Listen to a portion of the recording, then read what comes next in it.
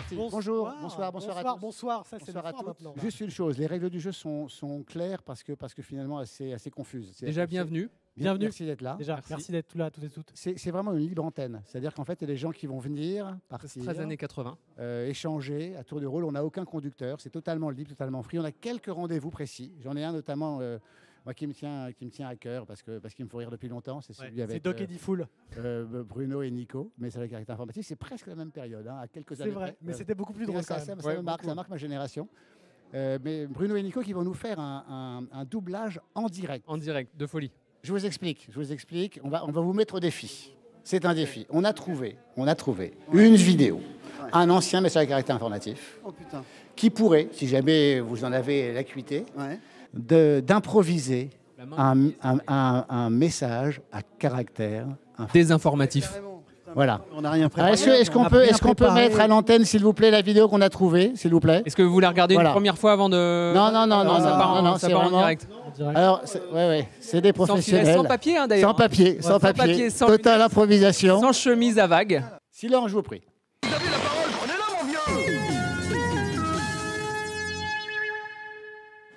Non, je suis absolument désolé, mais je ne peux plus travailler avec toi, Berthier. Attends, tu me demandes de renvoyer Berthier, c'est ça? Oui, c'est exactement ça. Eh oh, attendez, mais qu'est-ce que j'ai fait? C'est dégueulasse Mais je te l'ai déjà dit, je ne supporte plus ta moustache. Doucement, Ménard. Est-ce que ça a déjà posé un problème à la boîte? Mais pas une seule fois en 25 ans de maison Ah ouais?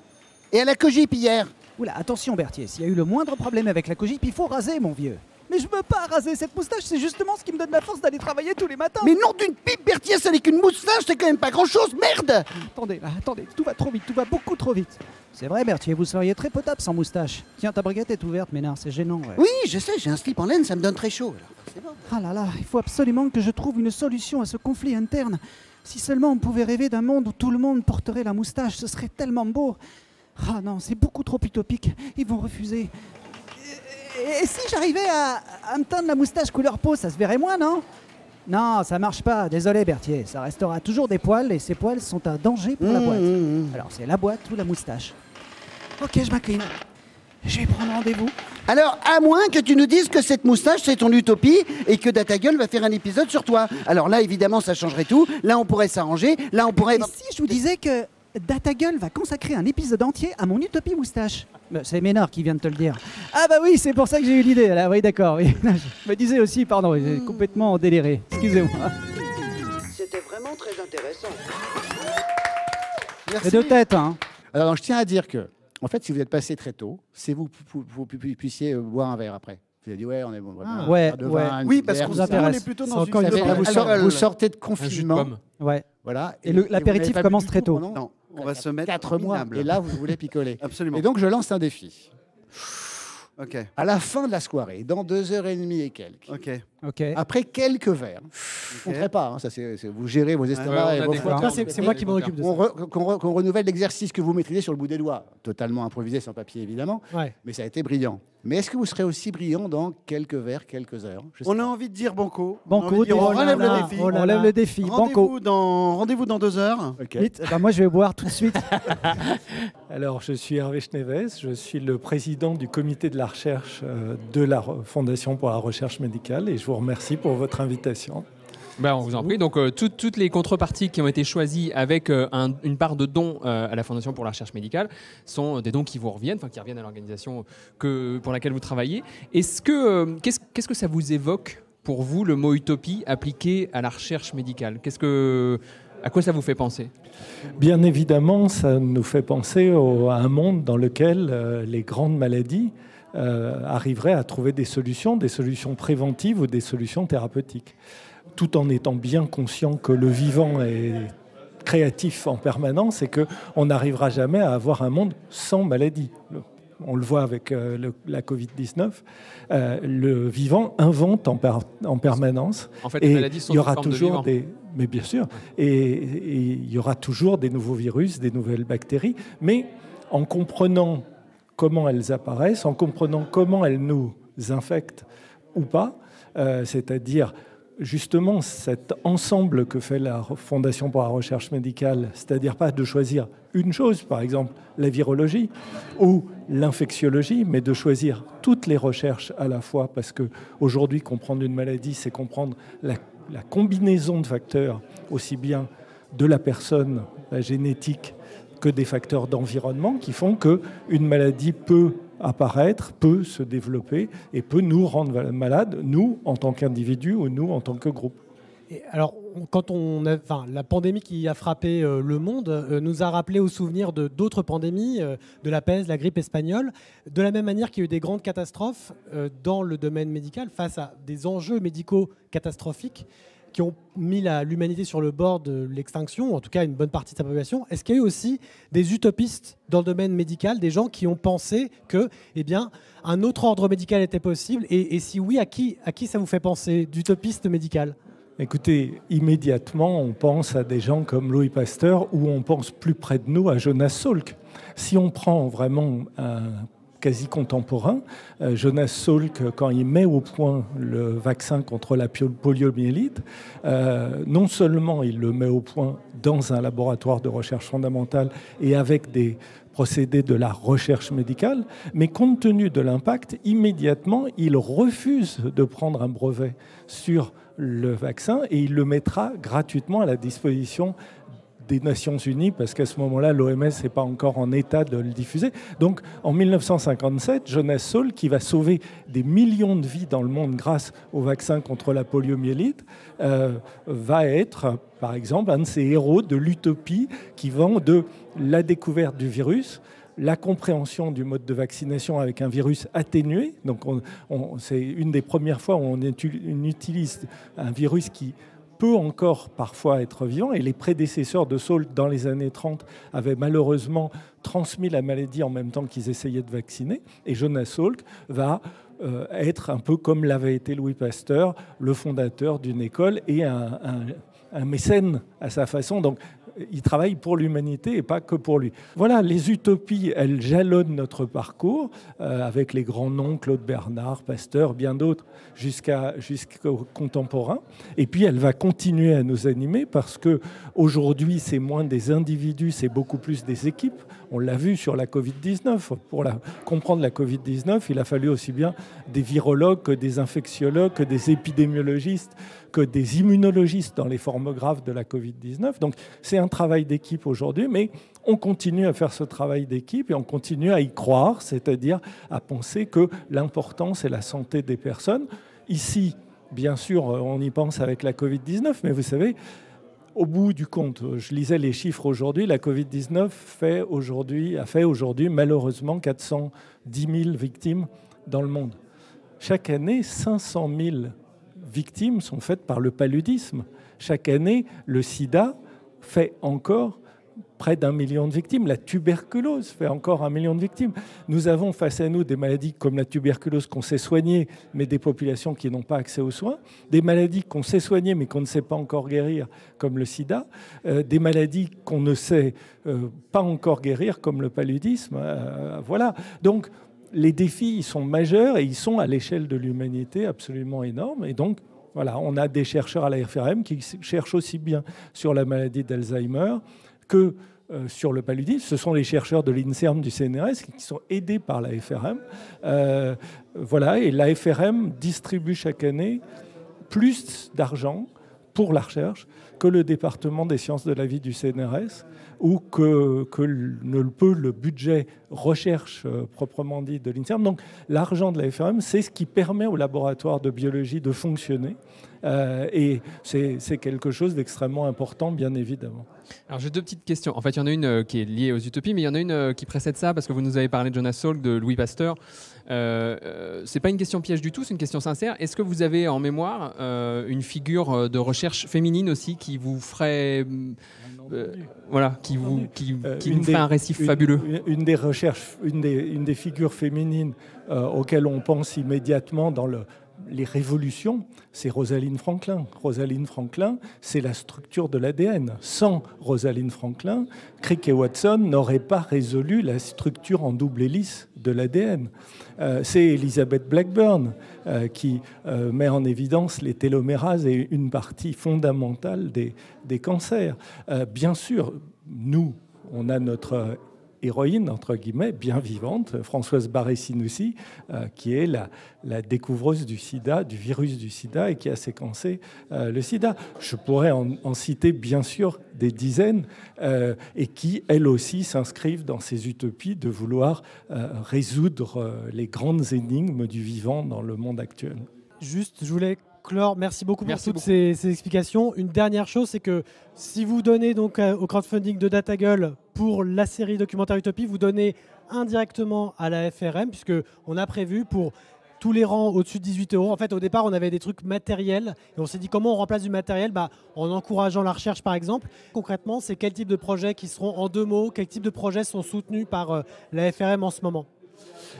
Les meilleurs projets, les, projets qui sont présentés par les laboratoires et le conseil scientifique de la FRM ne décident pas tel champ scientifique ou tel autre. C'est les meilleurs projets. À côté de ça, on a des axes prioritaires, mais qui sont financés à côté.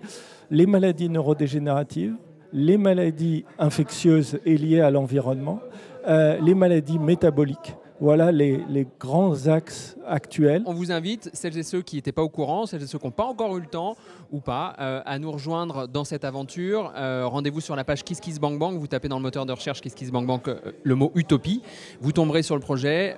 si le cœur vous en dit, si ça vous parle, rejoignez-nous. vous serez intégré au groupe, Instagram, au groupe Telegram. Au groupe Instagram, plus tard. Alors bonjour, je suis ravi d'être là. Moi, je pour faire un don parce que c'est ça qui est le plus important. c'est pas vrai, t'as un gros chèque et Donc du coup, c'est le maximum de donation, c'est 1000 euros. C'est ça euh, Je ne suis pas sûr. Je, crois que c'est 1000 euros. Moi, j'ai vu 1000 euros. Et du coup, c'est plus peut-être. Je, crois que c'est 1000. Et là, je voulais le faire, mais il n'y a pas de réseau. pas de... ah, Merde. Je crois que le maximum c'est 10 000 quand même. Hein, mais c'est 10 000 euh, ouais. par la 4G, c'est terrible. donc il n'y a, pas de réseau euh, a pas de... dans la soirée euh, Data Gueule, mais c'est dommage. Voilà. Alors, Guédré, quel est ton rapport à l'utopie? Je trouve, je suis pour. Très bien. De quelle utopie tu rêverais? Je suis dégoûté, je me retrouve à t'interviewer alors que moi je voulais juste manger des petits fours au fond de la pièce. Mais de quelle utopie tu rêverais, Guédré? Je voudrais que tout le monde s'aime. Tout le monde s'aime? Et, que, et que tout le monde arrête d'acheter des trucs qui servent à rien. D'accord. Parle-nous de ton utopie, de vie, Guédré. Ce départ, les Cévennes, tout ça, cette maison en bois. Bah, du coup, c'est plus vraiment une utopie. Réalité. Ça, s'est réalisé. Donc, euh, je sais pas, en fait, utopie, euh, comment dire, je crois que c'est un peu un truc entre le, rêve et le projet. Le projet Tu vois Et euh, on ne se remettra jamais de L'humour de gauche, on euh, dit. Parce que je sais pas, je crois que si c'est juste utopie, pour, que ça, pour rendre le truc un peu concret, tu vois. Oui, l'utopie réelle. L'utopie n'est pas nécessairement hors sol, n'est pas, pas simplement qu'une idée. On peut aussi euh, lui donner, du corps, la faire vivre. C'est ce que tu sembles faire, en tout cas. Bah ouais, bah oui, oui, c'est ça. En fait, euh, je sais pas, moi, il y a quelque temps, euh, je me suis dit, euh, non, mais en fait, la ville, la grande ville et Paris en l'occurrence, je crois qu'en fait, c'est pas du tout, du tout pour moi. Et et ça me convient pas et tout. Et, euh, euh, est-ce que je suis pas en train de devenir comme tous les gens que je connais qui disent ah mais moi je vivrai pas toute ma vie à Paris hein, et qui en fait vivent toute leur vie à Paris. Et euh, du coup je me suis dit bah bon bah je vais partir et je vais m'installer au fin fond des Cévennes et on, on, va voir quoi. Quelles sont les difficultés? Quelles sont, À quoi tu t'es confronté? Qu'est-ce qui a été difficile dans ce changement de vie? Ça a été un changement de vie. Ouais, c'était un changement de vie. Après, c'était une vie que je connaissais quand même parce que moi, j'ai grandi à la campagne, en Lituanie. Euh, donc euh, voilà, c'était pas du tout nouveau. Donc je savais que la campagne c'était pas romantique quoi. Enfin c'est comment dire euh, que c'est pas on n'est pas avec des euh, robes à fleurs à courir euh, dans des ah champs de blé. non en fait parce que bah faut débroussailler puis parfois bah il pleut il y a de la boue partout et c'est dégueu puis bah, bah, voilà puis il faut vivre avec ah. C'est quand tu dis le mot dégueu, quand tu as dit le mot dégueu, il est apparu Mais il, parce qu'il- dit dégueu, ouais, j'arrive. c'est son petit nom. C'est son petit nom. Du coup, t'as as dévoilé beaucoup de choses. Vous parliez, vous parliez campagne On Oui, parlait campagne. oui. Ouais. Super. Et, euh, et en, en quoi, euh, en, en quoi est-ce que, est-ce que c'est par, par- à quoi on s'est confronté en allant vivre à la campagne, qui n'était pas forcément un truc un peu idéalisé, tu Au vois. de- campagnard, principalement. Ouais. Vous, vous- vous avez suivi un peu le, le projet Utopie ou pas du tout? Vous avez jeté un œil? Ouais, ouais, bien sûr. Et moi, ça m'intéresse vu de loin, parce que vous êtes loin en fait. Euh, Qu'est-ce Ouais. qu'est-ce que vu de loin, euh, vous en pensez?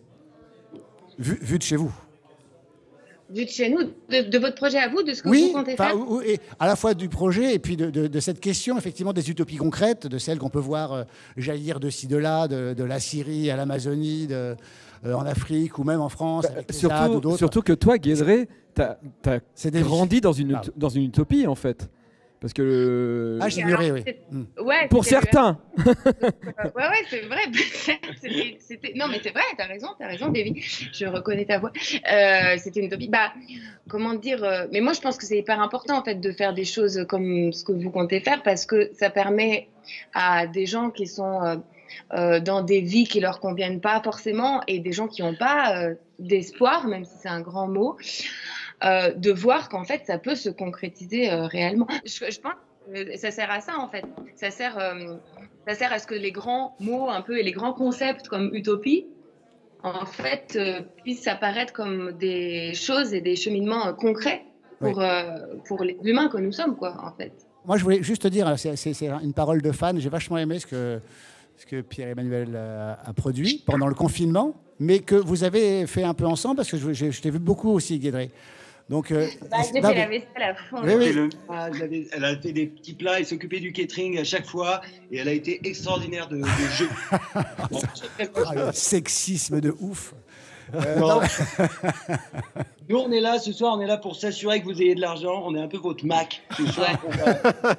On va, menacer les gens. De l'argent Donnez de l'argent pour Utopie. De l'argent non, mais alors, juste, j'ai une vraie question, c'est une vraie curiosité. Comment est-ce qu'en plein confinement, loin de tout, vous avez pu produire autant, aussi bien, pendant, pendant ce, ce temps suspendu, cette parenthèse quasi enchantée ou désespérée euh, du confinement?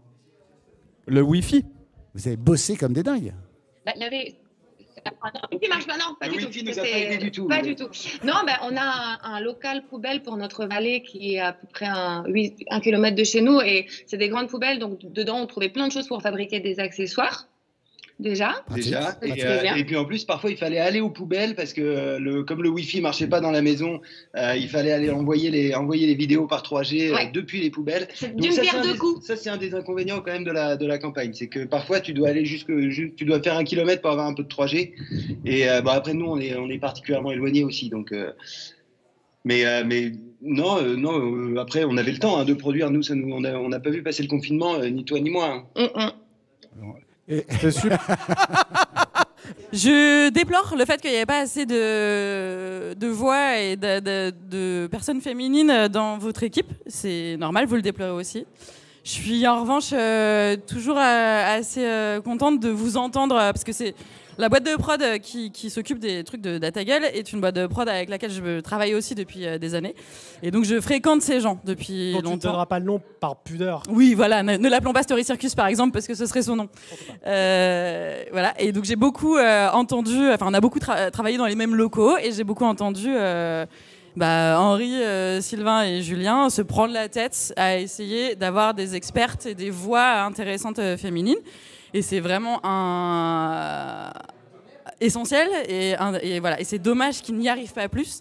Euh, je sais en revanche que sincèrement ils essayent. Donc c'est pour ça que je suis là. Sinon je donnerais pas ce crédit de, carte euh, féminine à cette soirée si je ne savais pas qu'il y avait une euh, vraie sincérité dans leur euh, dans leur envie de, de féminiser euh, leur recherche et leur travail voilà sinon Oui, puis on, on discutera avec euh, Lorraine aussi tout à l'heure qui est avec nous. Puis il y a d'autres femmes qui sont là. Lorraine qui fait partie de Vous avez l'équipe. parlé de Léa aussi. Léa qui a été. Léa Léa, aussi. qui peut pas être avec nous ce soir, Léa qui a écrit euh, la moitié des épisodes de cette saison, voire plus même. Ouais, c'est ça.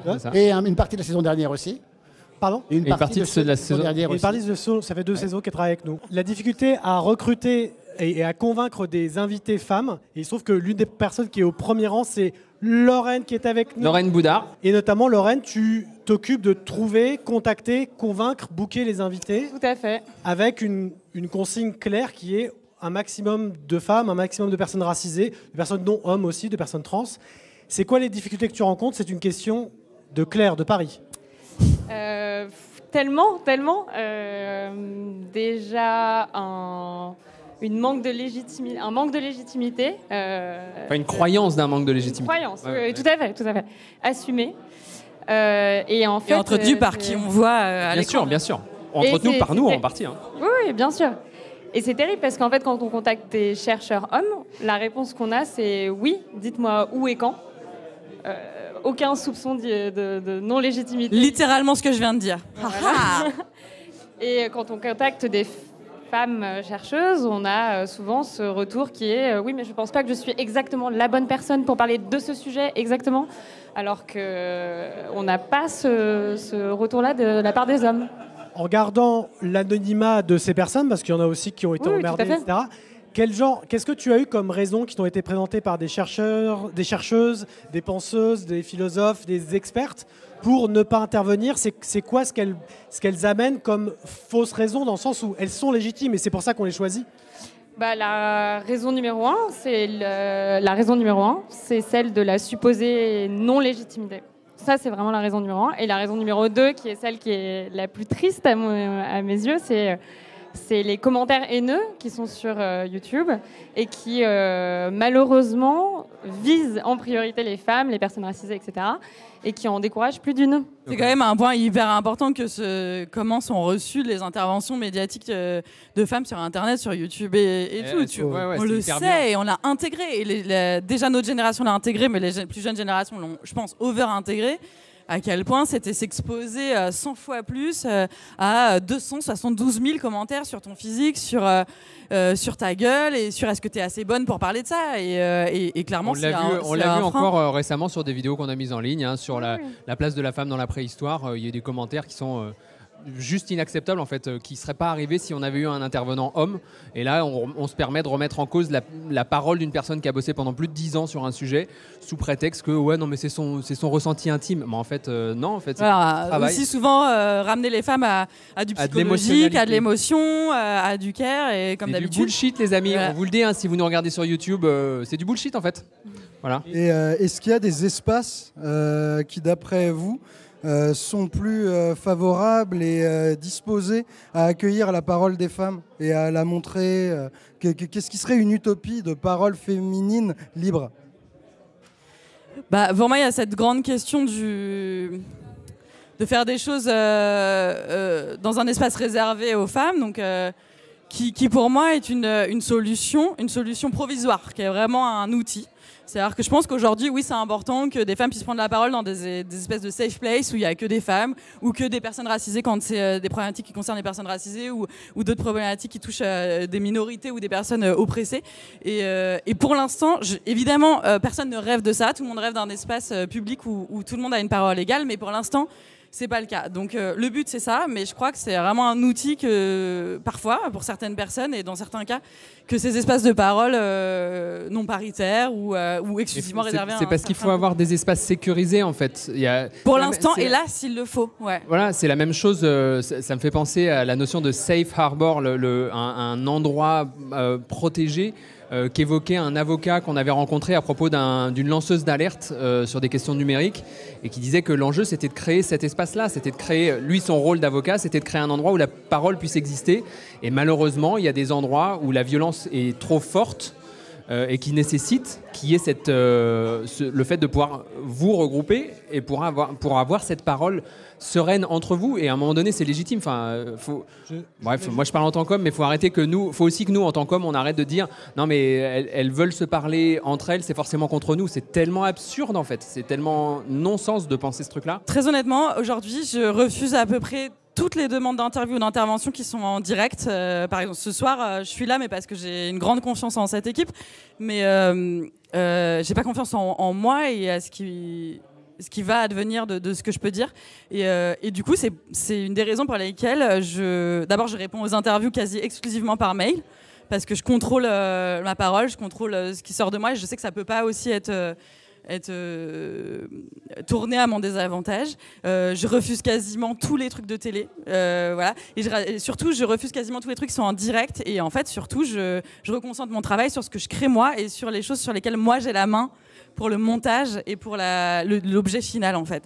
Et c'est dommage, mais il s'avère qu'aujourd'hui, mon conseil, ce serait de pas y aller. C'est chiant, mais c'est un constat triste, mais c'est un constat réel. Aujourd'hui, une, une jeune femme qui, débute dans un truc un peu médiatique dans lequel elle, elle a besoin de s'exposer pour euh, parler de son travail ou faire état de son travail, euh, je, je lui dirais de faire très attention et de plutôt pas y aller que d'y aller. Et c'est peut-être pas ça qu'il faut dire, hein, mais Ouais. concrètement, il s'avère que ce que je ressens, c'est plutôt ça.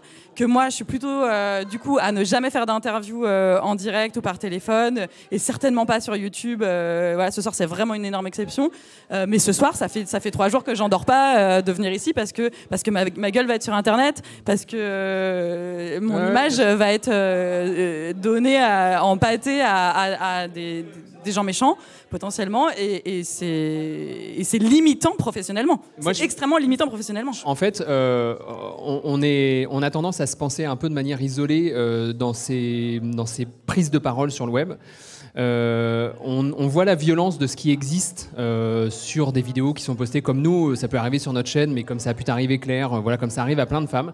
Je pense qu'il y a une responsabilité aussi collective de nous tous et toutes, ça concerne les hommes comme les femmes pour le coup, qui fermons nos gueules en fait. C'est-à-dire que on le sait pertinemment, on le sait nous parce qu'on voit les stats, les personnes qui commentent le plus violemment ces vidéos-là sont loin, mais tellement loin d'être une majorité en fait. Mais tellement loin. Mais pourtant ils prennent tellement d'espace et ils envoient des choses tellement violentes et qui sont tellement dures à recevoir. Si une infime partie de tous les autres hommes et femmes qui regardent les vidéos et qui voient ces commentaires et qui ferment la page en disant ah, je vais pas lire les commentaires, c'est trop dégueulasse, mais laisser un commentaire opposé, pas forcément pour rentrer au conflit, mais pour dire autre chose, pour dire et que la personne, la femme qui s'est exprimée, entende et voit autre chose, on pourrait changer un peu la balance. C'est aussi pour dire, euh, nous qui, euh, je vais faire un schéma, mais qui ne qui sommes pas nécessairement dans la violence de la parole ou qui avons tendance à refuser ça, c'est pas pour autant qu'on doit se taire en fait. On a le droit de prendre la parole pour dire d'autres choses que des choses violentes ou agressives et ça va ça va atténuer d'une certaine manière. Enfin, peut-être je me trompe, mais si ça, ça existait, ça peut créer un pare-feu. un- Disons que le problème, c'est qu'il y a, il y a- je- après je, je laisse la parole, mais il y, a, il y a un peu trois trucs. Il y a, ok, comment moi je vis la réalité Et en vrai, si j'ai une, une jeune nana en face de moi qui me demande des conseils, la réalité, c'est que je vais dire fais super attention et, plutôt n'y va pas. Maintenant, il y a un truc plus politique qui est de dire, bah, en même temps, faut que tu y ailles, parce qu'en même temps, si nous, si toi et moi on n'y va pas, il y aura jamais toi et moi, et on sera jamais représentés. Donc à la fois, c'est déjà un énorme paradoxe puisque les, les- les deux se mélangent et les deux se mélangent moi dans ma tête en permanence quand on me propose euh, d'aller sur tel plateau et tout. Alors, il y a le plateau où on propose d'être face à Marion Maréchal Le Pen, et je sais très bien que c'est juste pour me faire défoncer, et là, faut pas y aller. Mais il y a des plateaux. Ouais, on m'a proposé ça. Ouais. Trop bien. Et là, tu sais très bien que c'est pour faire de la télé, c'est pour faire du, clash, et que c'est pour faire de la merde. Donc là, euh, faut, faut vraiment pas y aller. Je, vais aussi dire tenir le discours inverse de ce que je disais il y a 5 minutes, c'est qu'en même temps, il faut y aller. Et en même temps, parfois, je me force à y aller parce que justement, il faut qu'il y ait ces voix soient entendues et, ces, visages soient vus. Euh, donc c'est un gros paradoxe avec lequel il faut jongler et c'est pas évident. Et maintenant, pour revenir à ce que tu disais et à des euh, plutôt des conseils pratiques et qu'est-ce que toi tu peux faire derrière ton écran, toi qui regardes YouTube Oui, mettre des commentaires positifs est une, euh, est une chose utile parce que euh, ça noie effectivement, euh, ça fait ressortir les commentaires de trolls comme étant des commentaires de trolls et pas comme étant la majorité de, de- du ressenti des gens par rapport à ce que, à ce que tu as produit comme travail. Donc oui, effectivement. Après, c'est pas comme ça qu'on va résoudre le problème, mais maintenant, effectivement, des, en pro-type, un conseil factuel de toi derrière YouTube, oui, c'est cool de le faire. C'est cool d'envoyer des mails, c'est cool aussi d'envoyer des longs mails en disant bah, j'ai bien aimé ton travail, j'ai vu tous les trolls qu'il y avait, mais on s'en fout, euh, euh, c'est des connards, euh, ton travail il est essentiel. C'est cool de le faire publiquement, c'est cool de le faire pas publiquement, de faire comme, comme tu le sens, mais ouais, ça compte, c'est L'idée, utile. l'idée, c'est pas de faire des commentaires pour s'exposer soi-même, c'est juste, enfin, dans le cas de la vidéo que tu, tu évoquais, juste de revenir sur le fond et sur la, la légitimité de ces femmes à s'exprimer. Rien que là-dessus, déjà, c'est énorme. Enfin, D'ailleurs, les commentaires euh, intéressants sont ceux qui sont sur le fond. Tous les commentaires Bien dont sûr. je parle, c'est ceux qui vont dire euh, euh, à Florence Porcel, oh là là, ton œil il est bizarre. À moi, oh là là, t'es trop grosse pour parler de sport. Et euh, à une autre meuf, oh là là, pourquoi c'est une meuf qui parle de politique? Donc, euh, Est-ce qu'il y a des politiques de modération de commentaires qui vous paraissent cool. Parce que nous, je sais pas, sur notre chaîne, on n'a jamais euh, Donc Ludo, osons modéré hein, particulièrement. Euh, on n'a jamais supprimé de commentaires. On intervenait quand on pouvait. Mais euh, peut-être que dans certains cas, des modérations plus hard, comme ils essayent de faire sur Twitch, je crois, où c'est difficile, euh, peut-être que des politiques de modération plus hard sont bien. Je sais pas, on en pense quoi?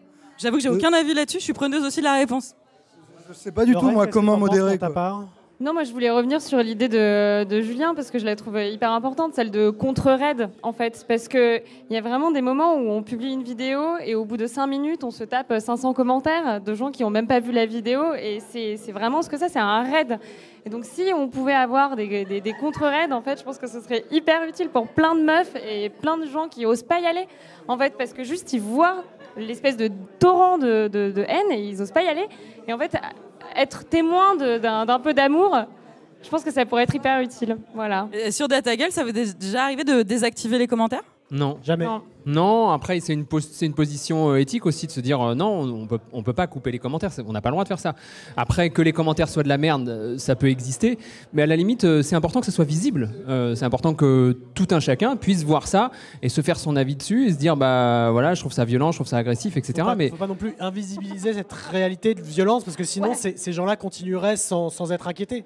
Alors, je suis Lénie, Lénie Chérino. Voilà, merci. Euh, je suis- Non, mais, bah, nous, on te connaît, mais pour que tout le monde te Donc voilà. Lénie Chérino, je suis co-créatrice de la chaîne Feuillage qui parle d'écologie avec humour, euh, poète poète tagada boum boum. On dit euh, le point levé et un doigt dans le cul. En sortant de cette période de, de confinement qui nous a euh, toutes et tous contraintes, à- contraintes et contraints à un certain nombre de choses, on a saisi l'opportunité de, de- du nom du, pas d'école comme euh, euh, voilà, un, terrain d'expérimentation pour euh, observer notre fille dans ses apprentissages. Si je devais avoir une utopie, ce serait qu'on qu'on puisse accepter un, un espace-temps pour réfléchir tous ensemble à ça et à se poser les, les questions et à justement réfléchir aussi euh, à notre parcours scolaire, à ce que ça a généré chez nous. Euh, est-ce que les, les casseroles qu'on reconnaît dans notre vie d'adulte, euh, est-ce qu'elles n'ont pas une, une source qui, voilà, qui, qui vient de là? Je ne sais pas, hein, je, je ne sais pas. J'ai- J'ai l'impression que tu utilises la, la prochaine discussion qu'on aura. je- je- on n'en termine pas encore, mais tu poses la question de l'horizontalité, de la prise de décision collective. Le, le système d'éducation nationale, comme tous les systèmes en France, est extrêmement vertical. Oui. Tu as un ministre Tout à fait. qui prend des mesures, puis après ça descend. Il y a des recteurs, des rectorats, puis après des chefs d'établissement, et puis ça descend ainsi. Alors qu'effectivement, sur l'éducation, qui est un- un- une problématique absolument universelle, comment peut-on ne pas sans cesse interroger et réinterroger les parties prenantes, les enfants, Exactement. Mais les parents, Mhm. les éducateurs, les enseignants, voilà, et remettre sur le ta- sur- pardon, excusez-moi. Euh, Je pense, je pense que c'est- c'est- ça pose la question de la démocratie en fait. Exactement, ouais, c'est ça. C'est que les écoles démocratiques sont des écoles qui se développent de plus en plus, mais qui euh, sont encore euh, très marginales et qui ont les mêmes problématiques que les écoles alternatives, c'est-à-dire qu'il faut payer, c'est compliqué, enfin, c'est vraiment souvent des gens qui sont très engagés, qui donnent beaucoup de leur temps, bref. Mais euh, oui, alors dans l'idéal, je serais pour des écoles euh, publiques démocratiques, en tout cas des écoles de la liberté, où euh, il n'y a pas d'hypocrisie et où la notion de liberté est, complètement sincère et partagée, et, où, vraiment on, la fait éprouver aux enfants. quoi. Et oui, pardon, je voulais rebondir là-dessus sur, pour faire le lien avec un, un truc sur lequel moi j'ai beaucoup bossé ces dernières années, qui est euh, les règles. Ah bah justement, Et je en voulais fait, qu'on en il y a un lien. T'as entendu Les règles. Ouais, ok, ouais, ouais. Euh, et euh, il y a paradoxalement un lien hyper fort parce que euh, il y a un, un lien en fait euh, que j'ai j'ai vraiment euh, découvert euh, au fur et à mesure qui est que le savoir qu'il soit médical ou qu'il soit euh, le savoir d'apprendre des- ce que tu apprends à l'école, etc. Il est, tout le savoir est délivré de façon extrêmement euh, verticale, comme disait Henri. Et, euh, et c'est très important pour l'institution qu'il soit délivré comme ça, de le garder comme ça. Et ouais. en fait, quand tu changes le truc, et là, euh, moi j'ai beaucoup bossé sur ce sujet des règles, et c'est pas du tout aussi anecdotique euh, qu'on croirait. Et il y a surtout un, un gros lien avec cette notion d'utopie parce que j'ai réfléchi au lien et je me dis, mais en fait, le lien, c'est de de, bah, de reprendre en fait ce savoir, de, de, se, de reprendre euh, la main sur, réapproprier. sur euh, ouais, de, réappro- de se réapproprier ce savoir.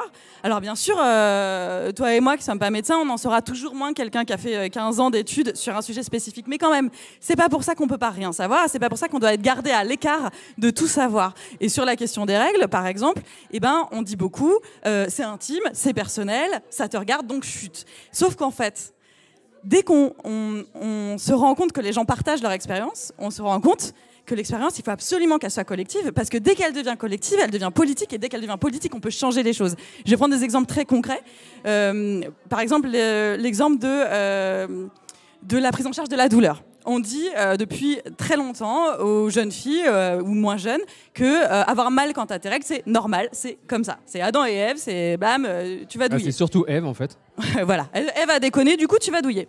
Et ben en fait non, en fait c'est collectivement qu'on décide de mettre ou pas du pognon dans la recherche pour des médicaments qui vont mieux prendre en charge la douleur. C'est collectivement qu'on va ou pas faire de la pédagogie sur quel euh, type de contraception peut supprimer les règles ou pas. Euh, et c'est des, actes hyper euh, collectifs et, et qui deviennent politiques et qui ont un vrai impact. Si je prends euh, le- la problématique des protections menstruelles et le prix des protections menstruelles, par exemple, c'est un truc, le politique a un impact dingue dessus. On pourrait décider demain que c'est gratuit, on peut, comme on peut décider que les masques sont gratuits ou sont pas gratuits. On peut décider que les masques aujourd'hui ont un prix limité. Ben, on pourrait décider que les tampons ou les serviettes ont un prix limité. Et ça, Comme on a décidé que les préservatifs avaient un prix. Exactement, comme on, comme on, on agit sur les préservatifs. Ou comme, on- comme le fait qu'il y a du papier toilette dans les écoles alors qu'il n'y a pas des serviettes et des tampons. Et ben en fait, dès qu'on recollectivise le truc, on se dit attends, en fait c'est un truc qui, qui concerne un groupe très, très important de gens. Et en fait, c'est c'est- voilà, euh, ouais, et et ben on repolitise le truc et c'est hyper important de repolitiser. Et politiser pour moi c'est remettre du collectif en fait dans le truc. Et je pense que votre euh, enfin là où je, je me retrouve moi dans, dans votre projet c'est que je crois que en tout cas tous les, les projets sur lesquels vous prévoyez peut-être de, de vous attarder et tout bah, ils mettent en, en jeu le collectif. Toujours. personne, de- personne ne construit son utopie individuelle a priori. Donc, Je rebondis juste sur ce que tu dis parce que quand on parle d'école et du rôle de l'école et, et par rapport à l'expérience dont tu fais part, moi ça me ramène à une lecture qui m'avait traumatisé en bien. C'est Ivan Illich, Une société sans école. Et en gros, la thèse centrale d'Illich, qui est un très, très grand penseur qui a nourri l'écologie, tu le sais euh, aussi bien, mieux que moi peut-être, c'est que l'école finalement n'apprend que une somme de choses, mais qui ne sont pas des savoirs pratiques, qui ne sont pas des savoirs opérationnels. L'école nous apprend que on est, on est évalué par des notes, que seuls des gens supérieurs à nous donnent des notes et que enfin les notes ça sert à classer les gens. Autrement dit, l'école selon Illich c'est la matrice, sans mauvais jeu de mots, la matrice de la société de classement, la Oui, société de l'évaluation et la société de la, de, de la soumission. Oui, complètement. Et d'ailleurs, on prétend euh, un- enfin, que les enfants vont à l'école pour être les futurs citoyens libres et avec un sens critique de, de demain, mais ils en sont totalement euh, privés dans cette verticalité que tu viens de décrire. Et, euh, et- voilà, c'est pas, c'est pas viable en fait. Ça, c'est, un cercle vicieux, euh, vraiment très, très, très vicieux, quoi. Moi, j'avais tendance à dire que la notion d'utopie, c'est souvent une notion qui est en lien avec la lutte. C'est comme ça qu'on la pense avec Henri. C'est-à-dire qu'une une utopie ne naît jamais d'un monde joli et naïf. Elle naît toujours d'un monde dans lequel il y a des manques. Et donc, on crée une utopie pour se dire, OK, on va créer autre chose. Euh, et j'aimerais bien que tu nous parles, toi, de ce que tu as ressenti comme utopique dans ce travail sur les règles. C'est-à-dire, contre quoi tu as été en lutte quand tu as fait tout ce cheminement sur les règles, non seulement parce que je pense qu'il y a deux volets, il y a la prise de parole que tu as fait en tant que femme sur cette question-là adressée à des femmes et qui est un- une prise de parole essentielle. Et il y a aussi une prise de parole parce que on pourrait avoir tendance à se dire ouais c'est un spectacle pour les femmes en fait c'est un sujet Pas pour les femmes tout. ce qui est une connerie énorme parce qu'on est on, on doit être au courant nous en tant qu'hommes euh, de cette question-là, on doit l'être d'autant plus qu'on ne la vit pas en fait. Et j'ai l'impression que voilà, mais je veux bien que tu nous racontes un peu comment tu as été en, en lutte, mais avec un côté positif là-dedans sur ces questions-là. Bah, en tout cas, le, le, force est de, de constater que le spectacle, euh, globalement, faisait du bien aux femmes parce qu'il parlait d'un sujet dont on les avait privées euh, pendant longtemps euh, et apprenait des choses euh, aux personnes euh, qui n'avaient pas leurs règles. Euh, euh, maintenant, ma- tout mon objectif, parce que je continue de travailler dessus et on, est en train d'écrire un livre pour aller plus loin dans chacune des problématiques qui étaient abordées, parce que dans une heure de spectacle, tu ne peux pas aller très loin. Et, pour moi, tout l'enjeu de ce livre, il est de, ce que je disais tout à l'heure, de politiser vraiment cette lutte, parce que euh, il s'y cache des choses beaucoup plus importantes que ce qu'on croit. Et euh, voilà. Et, et, je sais plus quelle était ta question, mais globalement, en tout cas, ce que je peux dire, c'est que j'ai Qu'est-ce qui se très- joue là-dedans? Qu'est-ce qui se cache euh, quand- en termes de lutte politique? Et, bah, euh, Et même de rapport de force, toute je pense, façon, ça. De- très vite, il y a de une limite qui m'est posée, qui est que c'est intime, donc on s'en fout, donc ça n'appartient pas au collectif. Ça n'a pas lieu d'être évoqué sur les réseaux sociaux ou dans le, domaine public parce que c'est intime. Et c'est ce que je disais tout à l'heure. Euh, euh, sans cesse ramener ça à l'intime, c'est empêcher les personnes qui font l'expérience euh, des règles ou de pas les règles de partager cette expérience, de la mettre en commun et donc de la changer. Et c'est pareil sur toutes les problématiques liées aux, violences gynécologiques, aux violences obstétricales, par exemple, qui sont très liées aux problématiques des règles, parce que en fait, elles reposent sur un tabou et elles ne fonctionnent que parce que on se tait. Elles ne fonctionnent que parce que euh, on ne partage pas. euh, c'est ce qu'on vit. Et à partir du moment où on commence à partager, on commence à se dire ah mais en fait, attends, c'est pas que moi euh, qui paye une douille de protection menstruelle, c'est pas que moi qui ai eu l'impression d'être massacrée pendant mon accouchement et humiliée, c'est pas que moi que le médecin a regardé de haut quand j'ai dit que je voulais supprimer mes règles comme si c'était un truc aberrant. Toutes ces problématiques qui sont qui sont loin d'être anodines dans l'oppression faite aux, femmes. bah, en fait, quand on les met en commun, elles prennent un sens vraiment politique fort et vraiment elles peuvent être changées et vraiment il y a un espoir de, de, de changer les choses effectives quoi. Vraiment on peut on peut mettre de la recherche sur les médicaments euh, contre la douleur. Pourquoi est-ce qu'on a 300 millions de médicaments dans la lutte contre les problèmes d'érection et qu'on n'a pas un médicament qui traite correctement les douleurs menstruelles? Euh, Et ça Vraiment, c'est politique, au sens où c'est des choix de pognon, c'est des choix d'énergie, c'est des choix de ressources pour euh, tel ou tel médicament. Pourquoi est-ce que le prix des protections menstruelles, pourquoi est-ce que euh, on pratique autant l'épisiotomie alors qu'on a, on a, on sait maintenant que c'est pas du tout obligatoire? Et pourquoi est-ce que ça reste un truc dont on ne doit pas parler parce que le corps médical, c'est le savoir, c'est le savoir vertical et qu'il faudrait surtout pas changer ça Mais parce que ça va bousculer tout le monde, ça va bousculer tout un système et c'est pour ça que c'est important d'aller voir euh, des endroits où ça se passerait. ça se passerait mieux. Mais en tout cas, moi, ce que j'ai beaucoup vécu, c'est par exemple sur rendre les protections menstruelles euh, euh, en libre accès dans les écoles. Ce qui euh, va bientôt te, te concerner. euh. Oui, oui, certainement. En tout cas, euh, tu vois, il y a, maintenant, l'âge moyen des premières règles, c'est 12 ans et demi. Donc, euh, ça veut dire que si, si l'âge moyen, c'est 12 ans et demi, il y a énormément de gamines qui ont leurs règles en CM1, CM2. Oui, Donc c'est bientôt. oui, bien sûr. et beaucoup, d'entre elles ne sont pas au courant. Et au-delà de ça, après, il y a la problématique du prix de, de ces protections et tout. Et ben à chaque fois que sur Internet, tu prends la parole pour évoquer cette problématique de rendre les protections euh, menstruelles disponibles et gratuites, juste dans les lieux publics, dans les écoles, on parle encore que de ça.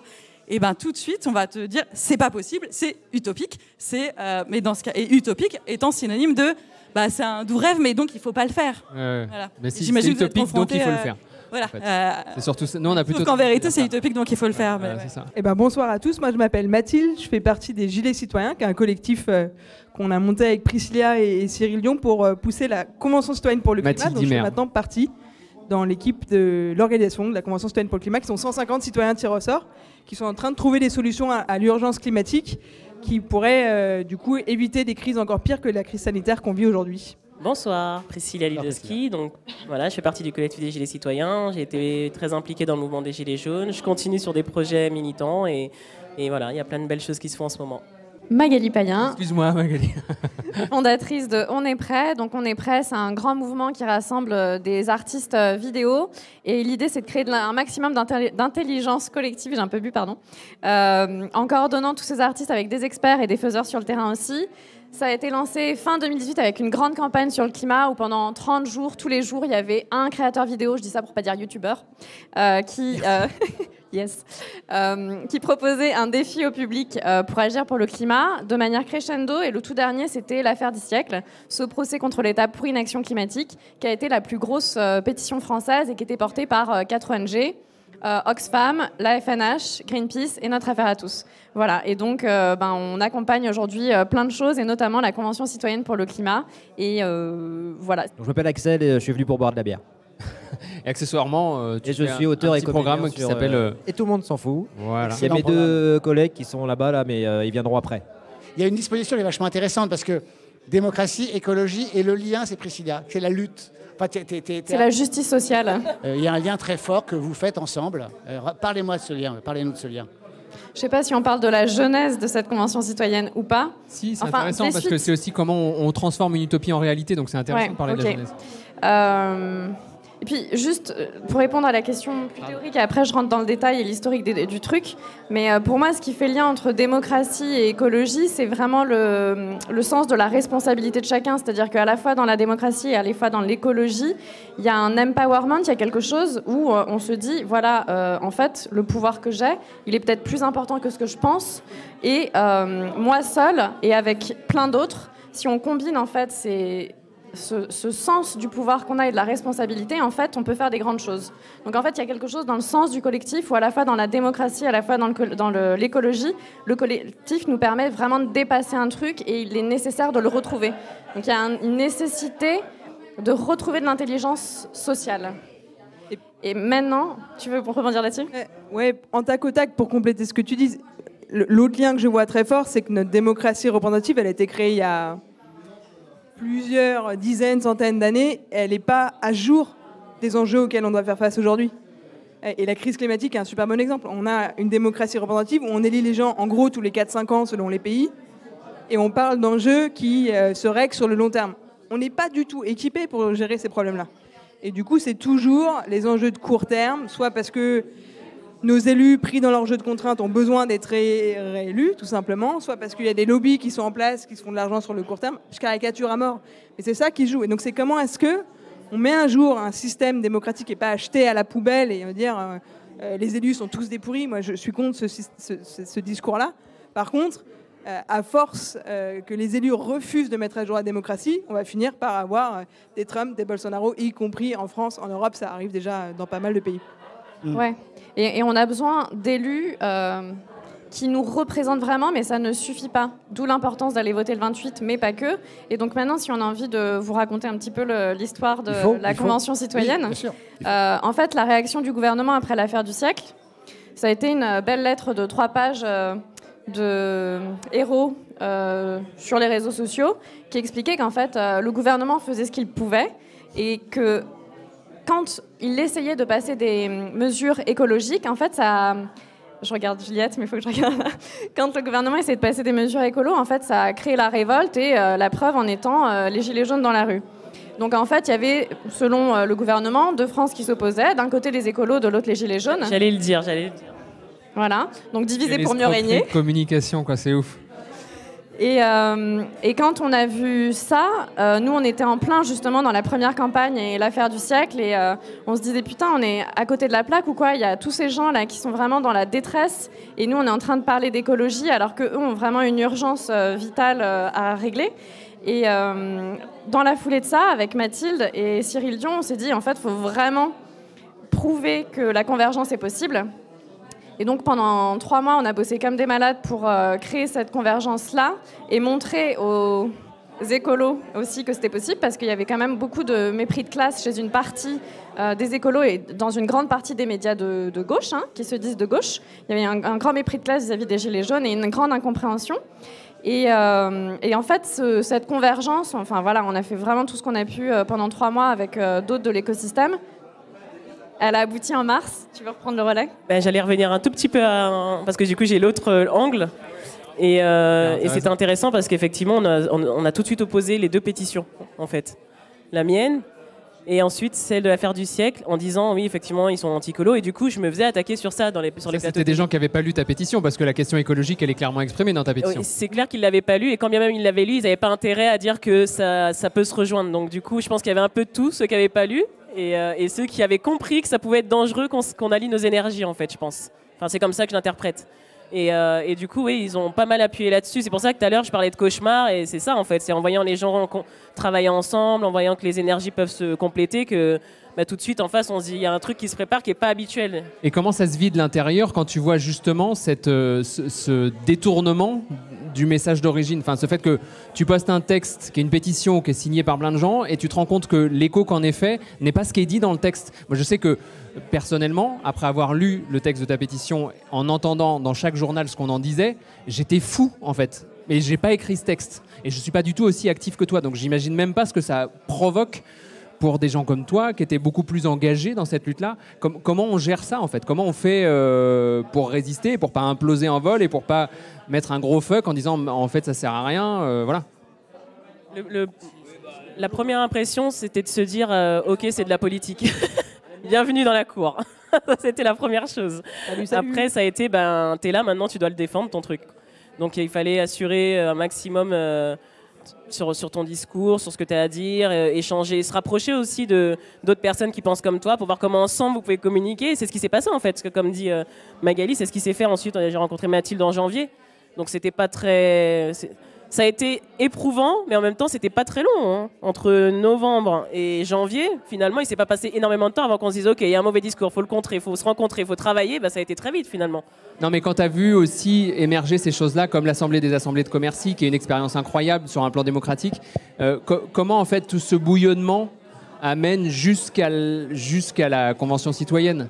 Ben, ce sont deux choses qui ont été faites en parallèle, en fait, finalement. Même si à un moment donné, il a fallu contacter euh, d'une manière ou d'une autre, autant que possible, les grandes initiatives connues, en tout cas à ce moment-là, tout le monde ne pouvait pas travailler ensemble au même moment parce que tout le monde n'était pas sur les mêmes projets et puis tout le monde n'avait pas les mêmes aspirations. La Convention citoyenne, elle est en partie euh, institutionnelle, ce qui fait frein à pour beaucoup de monde en fait. Il y a des gens qui disent qu'il faut faire les choses nous-mêmes, on n'a plus besoin d'eux parce qu'il y a une très forte défiance, elle existe. Et la question par contre où tout le monde semble être d'accord, c'est de dire ok on doit faire nous-mêmes, mais comment on fait pour concrétiser la chose? Comment on, transforme le truc en loi, en règlement, etc. C'est- là en fait qu'on se rend compte qu'il va y avoir un obstacle. Mais en tout cas il y a eu cette volonté de faire les choses par soi-même et je pense que c'est de là qu'est partie la, les assemblées des assemblées, c'est de se dire on va c'est un exercice démocratique aussi inédit, je pense, parce que c'était à grande échelle et ça demandait beaucoup d'organisation entre des gens qui se connaissaient pas avant, des gens des ronds-points. Enfin, c'était des mini-parlements. On avait l'impression qu'ils se transformaient en grande assemblée. Enfin, c'était vraiment inédit pour moi. La Convention citoyenne, c'est pareil. C'est encore un truc qui avait jamais eu lieu en France. Donc, je crois que l'année 2019, vraiment, elle a. Ça a été un début de révolution euh, en matière d'innovation démocratique. Enfin, innovation au sens où ça, ça s'était pas fait, pas au sens où c'était des outils qui n'existaient pas. Mathilde, ouais Mais je voulais réagir sur ce que disait Priscilla parce que quand on a écrit cette lettre ouverte avec le collectif des Gilets citoyens qui rassemble du coup Gilets jaunes, écolo, acteurs de la démocratie participative, on l'a écrit, donc on demandait à une assemblée citoyenne sur trois sujets le climat, mais aussi le RIC et la justice fiscale. Je vais me mettre là parce que comme ça les gens te verront plus, tu me regardes et du coup on te verra plus. Et, hum, et en fait, on s'attendait pas tellement à une réponse du gouvernement à ce moment-là, comme beaucoup de lettres ouvertes. Donc on était parti dans une dynamique où on fait nous-mêmes. Et on a été plutôt surpris quand euh, le lien avec l'affaire du siècle a permis à, Marion Cotillard et Cyril Dion de rencontrer Macron et de lancer une dynamique où euh, bah, finalement il y avait un engagement euh, sur le référendum qui nous permettait de peut-être déboucher sur une sorte de RIC délibératif, donc de donner finalement du corps à une proposition qui vient des Gilets jaunes. Il faut être très clair, la Convention citoyenne pour le climat, elle n'existerait pas sans ce mouvement. Ce n'est pas les Gilets citoyens qu'on fait la, la Convention citoyenne pour le climat. C'est pas est-ce qu'il y a eu les Gilets jaunes et parce qu'il y a eu cette envie de faire par nous-mêmes et d'être prêt à le faire par nous-mêmes que euh, la Convention aujourd'hui peut exister pour de vrai. C'est vrai que c'est important ce que dit Mathilde, c'est un petit truc que j'avais oublié. Effectivement, euh, il y avait l'idée de se dire si jamais il répond pas, on fait nous-mêmes. Donc même, il y avait ceux qui faisaient eux-mêmes de leur côté de toute façon, partout en France avec l'Assemblée, et puis ceux qui disaient voilà, on fait nous-mêmes, on demande, on a une forte revendication, mais on commence à faire nous-mêmes quand même, et si tu réponds pas, ben on fera sans toi. Donc quand même, ça se rejoignait sur ce point-là, quoi. C'est quoi l'apprentissage dans ça Euh, la, Convention citoyenne, elle existe depuis quelques mois maintenant. Euh, c'est une expérience incroyable, mais, de ce que vous en tirez en, observation, de ce qui s'y passe, elle n'est pas terminée. Mais voilà, c'est quoi, l'enseignement de cette euh, utopie réalisée, enfin début d'utopie réalisée?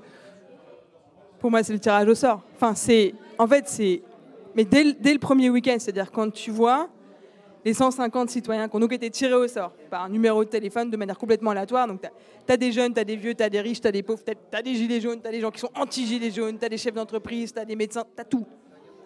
Ils sont pas du tout d'accord entre eux, ils sont très différents. Mais rien que, en fait, j'ai envie de dire, la tronche de cette assemblée, tu les vois, oui, tu as l'impression de, voir une mini-France.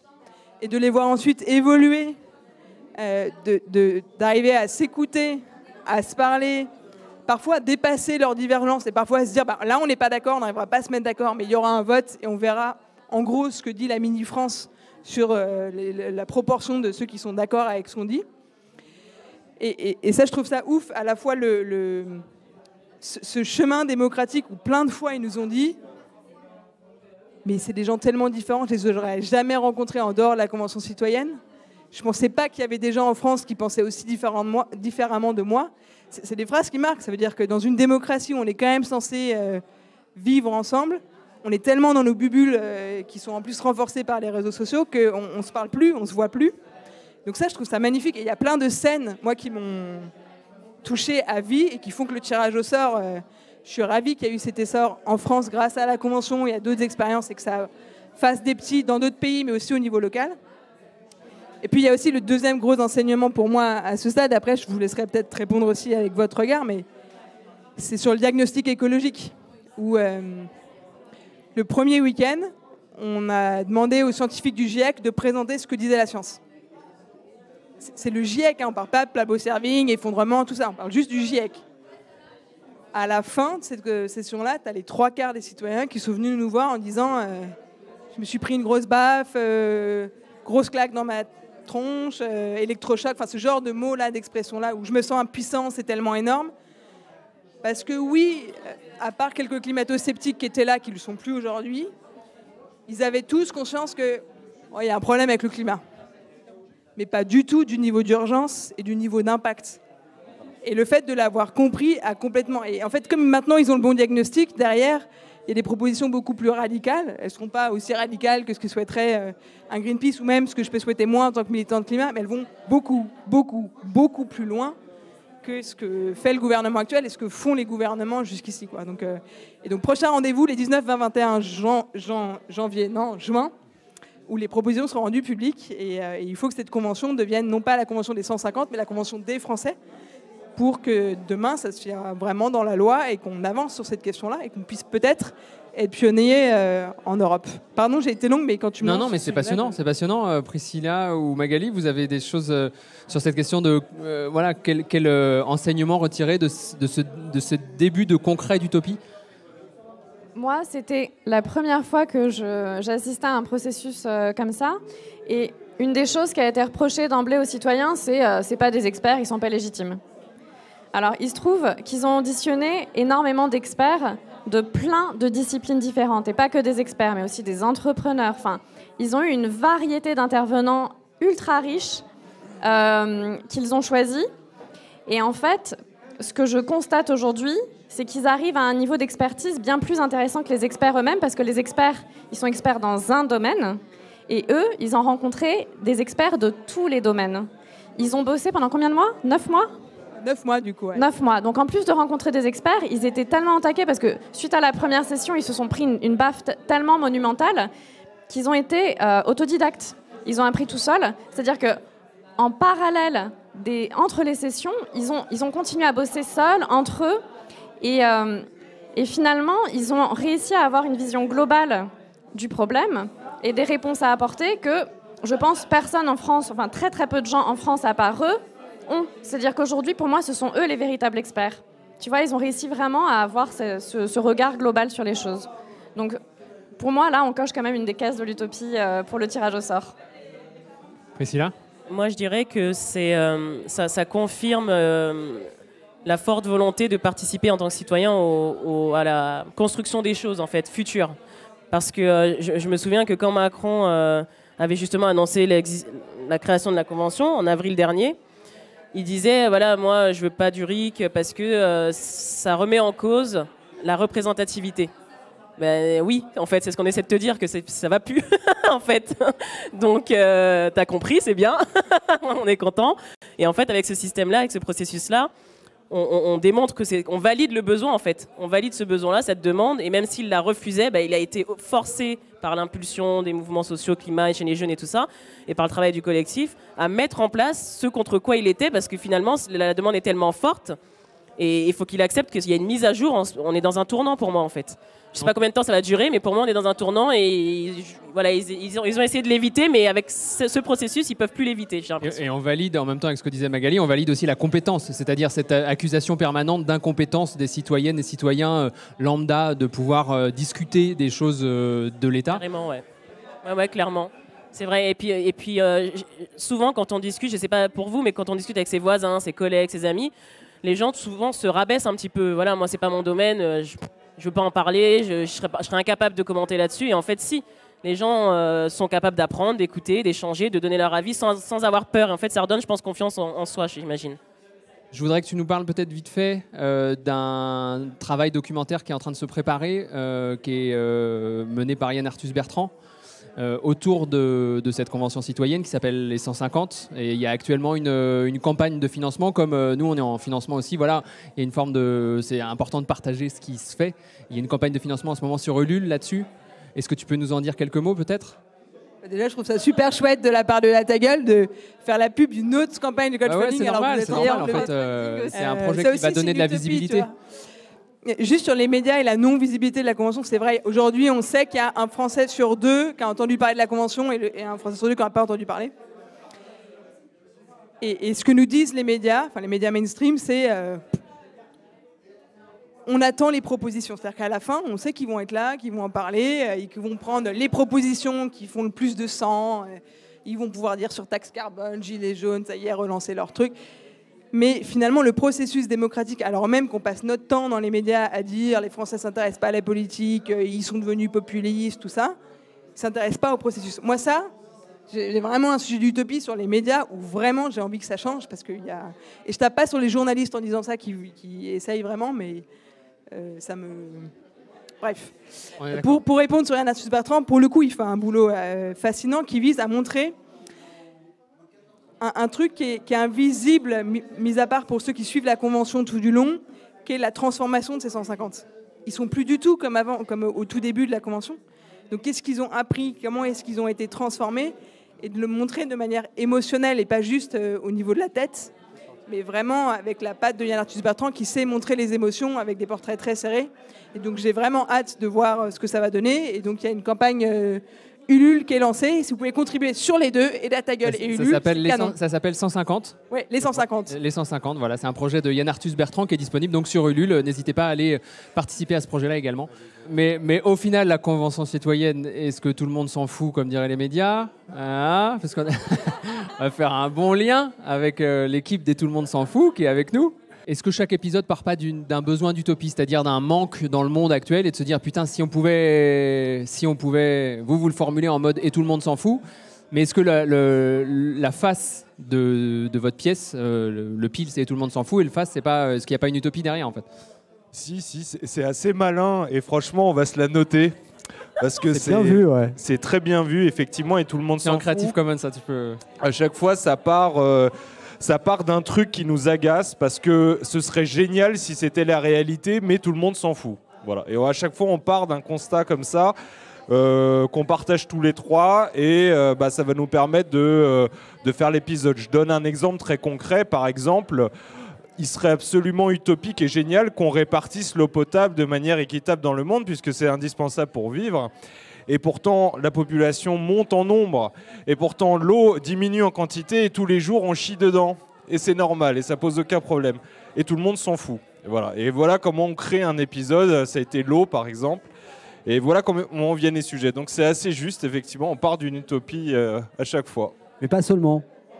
On essaie aussi de diffuser euh, des informations qui sont euh, des fois pratiques et applicables, parce que tout le monde s'en fout, c'est, ça traite de psycho et de développement personnel, un épisode sur deux.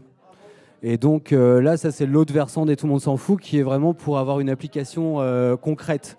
Et donc on essaie de faire euh, un grand écart entre la psycho, le féminisme, la société, l'écologie, parce que tout ça participe en fait d'une mentalité commune et d'une intention commune, qui est une mentalité, une, une intention écologique, c'est-à-dire, euh, j'espère que je vais pas devenir chiant, euh, juste le fait en le fait. dire, ah, vas-y. Ouais, voilà, c'est tout ça étant, qu'est-ce que ça veut dire? C'est que le, le point commun entre nous deux, en fait, hein, entre nous, entre nous tous, je veux dire, c'est euh, euh, l'importance de nos valeurs, en fait, et euh, le fait qu'au bout d'un moment, les valeurs, euh, on a compris que c'est identitaire, c'est ce qui nous fait, c'est ce qui bouge pas à l'intérieur de nous, et euh, qu'il va falloir qu'on les, qu'on les traduise avec des croyances qui sont cohérentes, voilà.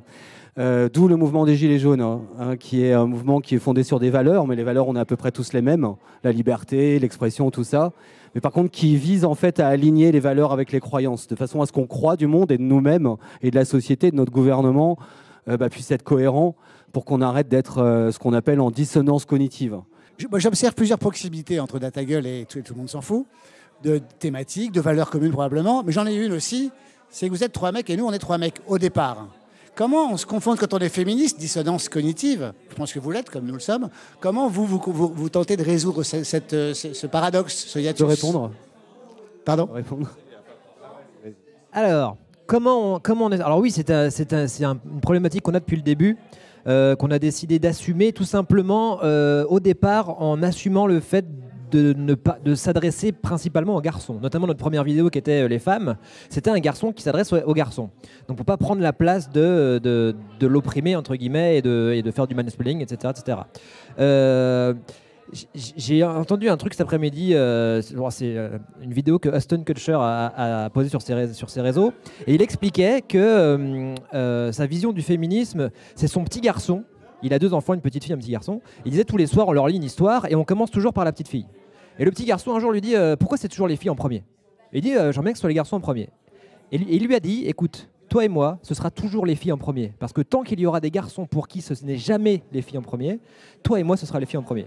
Et j'ai compris, avec cette phrase toute bête, quelle était ma vision du féminisme et pourquoi je me battais. Et c'est que tant qu'il y aura des gens qui ne considéreront que les femmes doivent avoir moins de droits qu'un homme, eh ben moi, je, enfin, je, serais à l'opposé et je serais dans une espèce d'équilibre, de charge d'équilibre par l'autre extrême, en fait.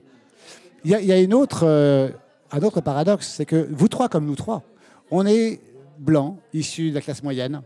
Euh, on vit à peu près sur les mêmes territoires. Comment on fait avec ça? C'est une question que je vous pose et qu'on se pose aussi. hein, donc. Bah, en fait, on a décidé dès le début de Et tout le monde s'en fout de prendre à bras le corps les privilèges qu'on a. hein. C'est-à-dire d'être des hommes, d'être des hommes blancs, d'avoir accès aux médias, euh, d'être entendus aussi, d'avoir des savoir-faire techniques euh, qui sont coûteux à acquérir. Et l'idée, c'est qu'est-ce qu'on pouvait faire avec tous ces privilèges qui étaient autant de moyens? Et, et du coup, on, s'est dit que avec des privilèges, on peut faire euh, un travail de corsaire. Euh, on s'est orienté vers une forme de piraterie, c'est-à-dire utiliser les moyens qui nous étaient donnés pour essayer de tirer les choses dans un sens féministe, dans un sens progressiste.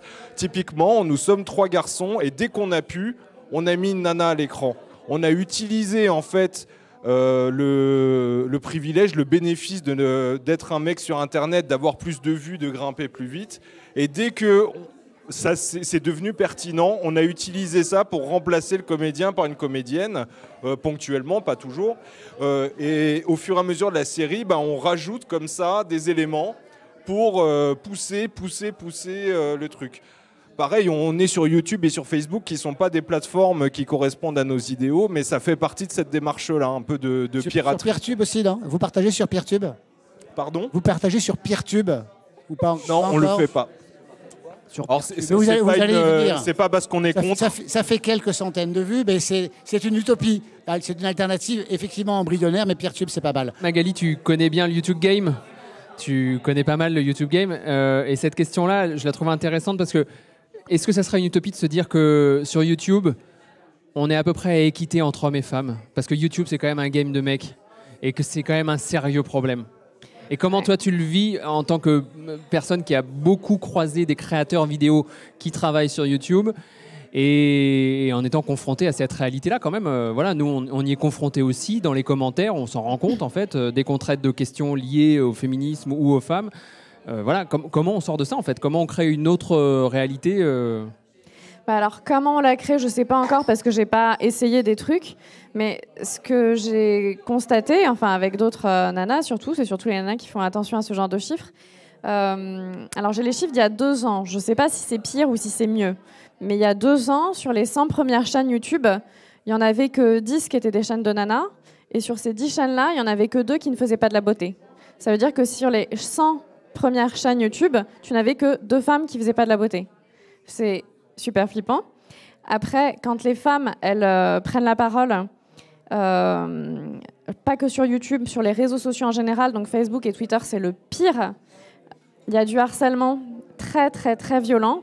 Ce qui fait qu'il y a beaucoup de femmes qui sortent de YouTube et qui, en fait, sortent tout simplement des réseaux sociaux parce qu'elles sont menacées de mort, on retrouve leur adresse, elles sont menacées de viol. Enfin, c'est d'une violence euh, inouïe.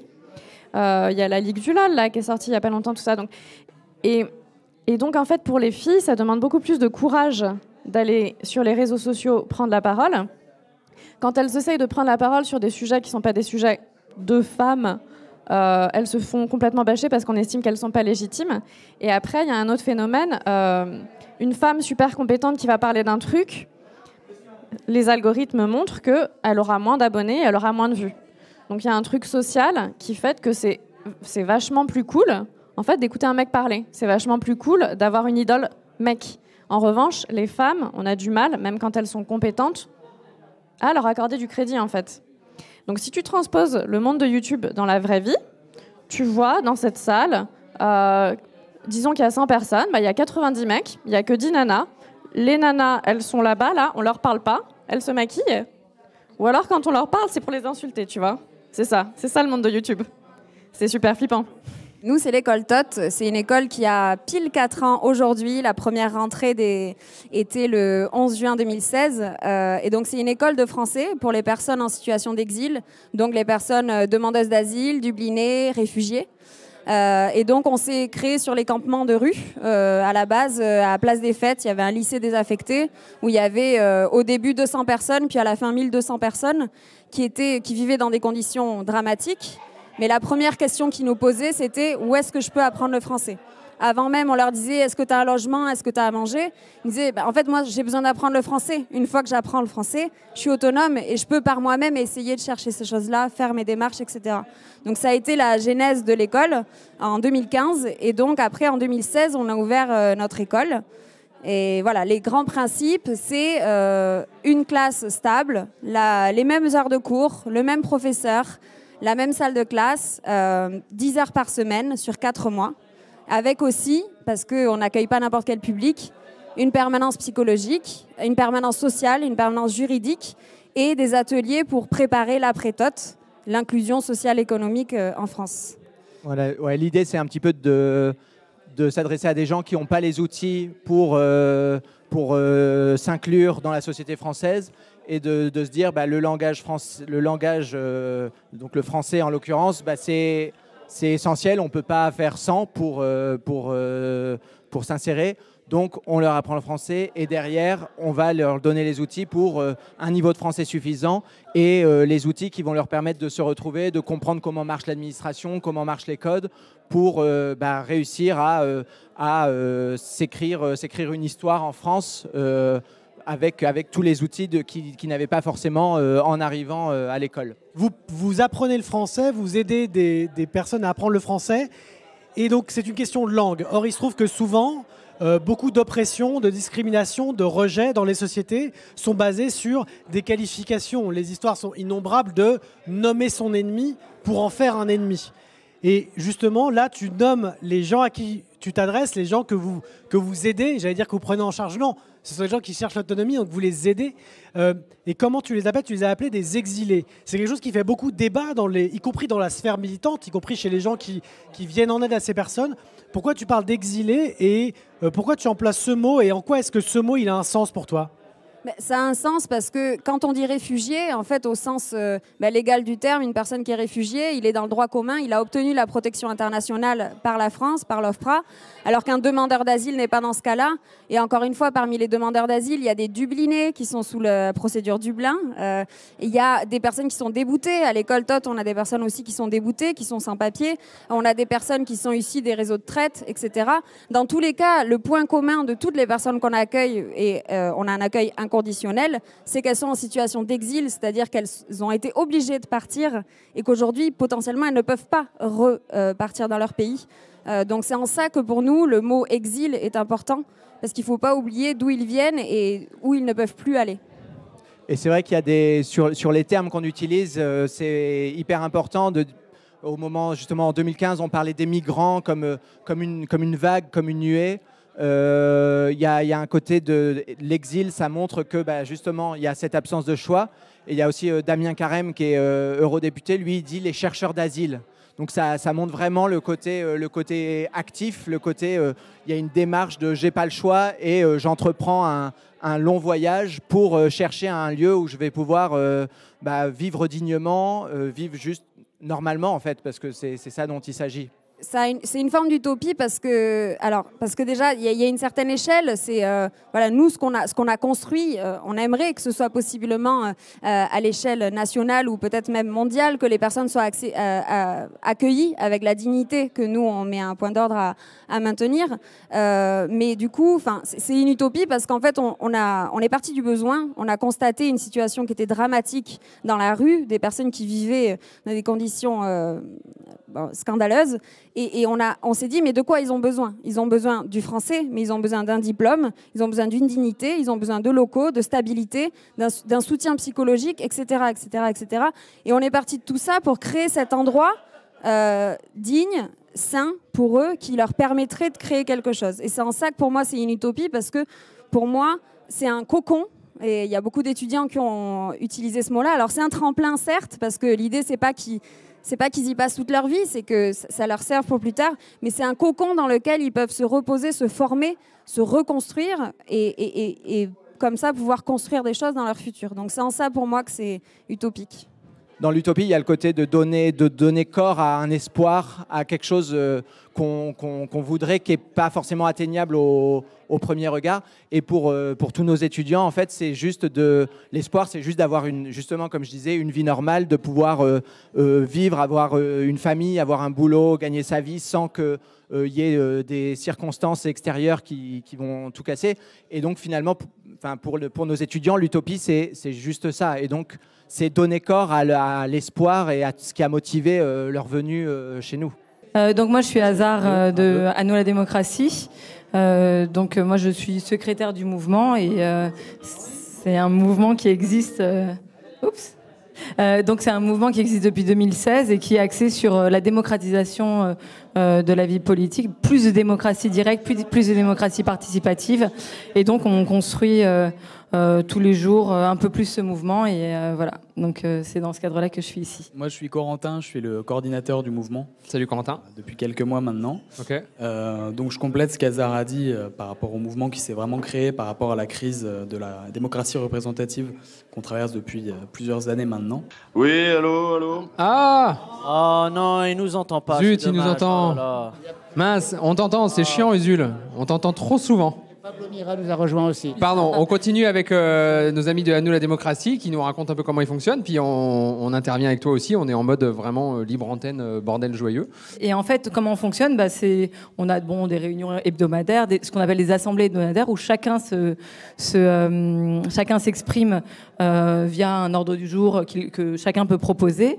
Et les prises de décision, elles se font un peu en- dans le sens où si, vous, si quelqu'un dans le mouvement veut quelque chose, veut, dire, bah, moi, euh, typiquement, le jour, j'ai proposé que Corentin rédige un, article sur un sujet qui m'int- qui m'intéressait.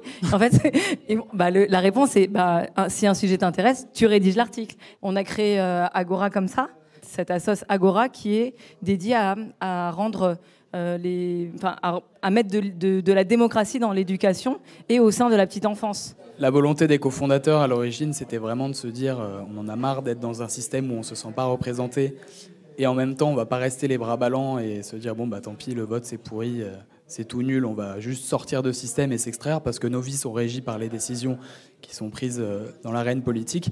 Donc laisser euh, les règles à une petite caste dirigeante, c'est pas possible. On participe aux élections, mais pas dans une volonté électoraliste. euh, nous, on veut être un parti avec 30 000 adhérents, on veut capturer l'appareil de pouvoir. C'est pas ça notre but. Notre but, c'est vraiment d'avancer nos idées à, la manière d'un lobby citoyen, en fait. C'est parvenir, par le biais des élections, à arriver à à l'intérieur du système et vraiment à proposer de nouvelles règles du jeu, donc changer les institutions. Parmi nos propositions, on a un manifeste qui a accompagné la création du mouvement en 2016. Euh, une des propositions parmi les six est d'instaurer à la place du Sénat, qui est une chambre qui est vraiment euh, en perte de légitimité totale en France aujourd'hui, instaurer une chambre qui soit composée de, de Français et de Françaises tirés au sort. Oui, moi, je pense qu'on peut, on peut faire de l'utopie un petit peu plus loin qu'en juste réformant la chambre haute. hein. Ça me paraît timide tout ça, là, niveau utopie. Poser une question simple et pas large du tout. C'est quoi ton utopie Ah, bah, le communisme. C'est quoi? Simplement. Le, le communisme, Le ça com- c'est merveilleux, ça. Je sais pas ce qu'il vous faut de plus. euh, je- Non, mais on pouvez disait inventer- utopie, pas blague. Ah ben non, mais alors c'est peut-être ça, c'est peut-être votre point de vue, mais enfin non, non, ça c'est une belle utopie le communisme. Et c'est quoi le Est-ce communisme qu'elle a déjà existé cette utopie Ben non, c'est une ligne d'horizon, si vous voulez. C'est comme la démocratie. On peut dire la démocratie, c'est merveilleux, machin. Euh, ça reste un horizon. Après, on fait des institutions qui essayent de faire à peu près de la démocratie. Bon, ben le communisme ou le socialisme, c'est pareil. C'est un horizon, c'est une utopie. Derrière, on essaie de bricoler des institutions qui nous amènent plus ou moins à ça. Le bricolage final est plus ou moins réussi, c'est vrai. Est-ce que, est-ce que tu penses que c'est une solution, un horizon qui vaut pour, pour toutes et tous, pour, par tout temps, tout le temps, partout? Bah non, parce que, enfin, oui, oui, oui, si, c'est bien, moi ça me va, moi. C'est-à-dire décider ensemble de ce qu'on produit, décider ensemble de ce qu'on fait, euh, décider ensemble au travail, être maître de notre travail, maître de notre destinée. Euh, et les travailleurs avant une petite élite qui s'installe, etc. Moi, ça me paraît mieux que, que ce qu'on a là, ouais. Et ça me paraît être un bel horizon, c'est-à-dire que les gens qui font des choses soient aux commandes des choses. J'ai j'ai quand même envie de te relancer parce qu'on a beaucoup débattu ensemble à diverses occasions, mais le travail est quand même au centre. Ouais. Ah, déjà, le travail, c'est la santé, on est d'accord là-dessus hein? Ouais, mais Le travail, euh, le travail humain, ouais. le travail humain, mais dans, dans quel sens? Est-ce que pour toi, c'est c'est là-dessus que ça se bâtit? Est-ce que ça part du travail? Mais de toute façon, l'humanité a jamais été indolente. On fait des choses. Certes. Ne serait-ce que, ne serait-ce que pour notre survie. Voilà, on construit, on fait des logements, on fait de la bouffe. Vous voyez bien là, quand il y a eu les- les- le confinement, qu'il y a certaines activités qui se sont ré- révélées euh, plutôt nécessaires. Bon, on, ça c'est les besoins euh, premiers, puis ensuite on fait de l'art, et puis ensuite on fait plein de trucs. Et, euh, et ça c'est au cœur de nos vies. Quand on, on arrive dans la vie, on se dit qu'est-ce que je vais faire dans cette vie? Et mine de rien, ça ressemble à un travail, même si le capitalisme n'a pas dit que ça c'était un emploi, par exemple mais quelqu'un qui consacrerait sa vie, je sais pas, à animer euh, des clubs de foot, euh, payé ou pas payé, de temps en temps. Bon, bah, c'est son travail, c'est c'est au cœur de sa vie. Essentielle différence entre travail et emploi. Il y, a- il y a des endroits vers lesquels tu regardes, toi, en, en termes de, de on va, ce qui se on passe. va les de- laisser, les gars, on va les laisser. on va mettre une petite Ah, chandelle, je vais rapporter un tiramisu, on va les laisser. hein.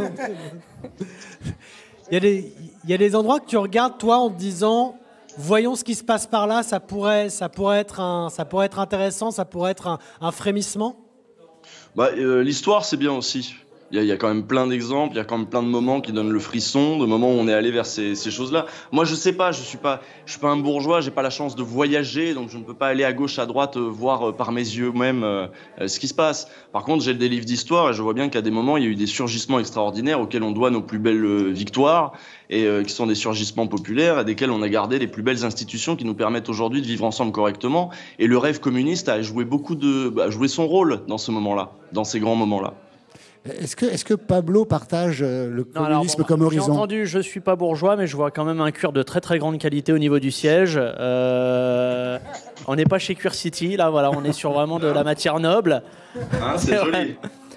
Non, allez, je, je- je me fais un peu le, l'avocat du diable.